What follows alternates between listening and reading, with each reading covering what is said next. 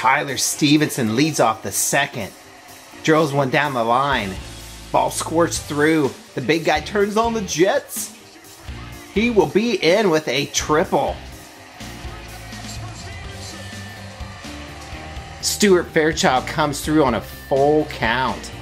Puts one to left. Stephenson will score. Stewie thrown out trying to stretch it by a mile. It's nice to see TJ Friedl back. This is his first hit of 24.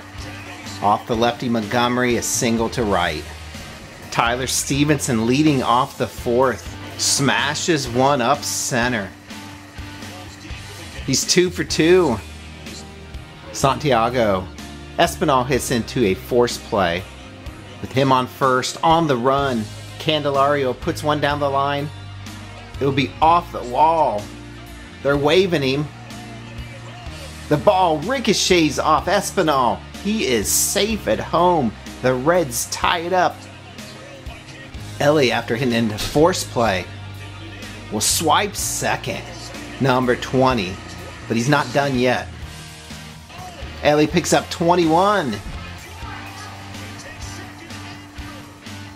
After Fraley walked to lead off the inning, Candelario drives one to right.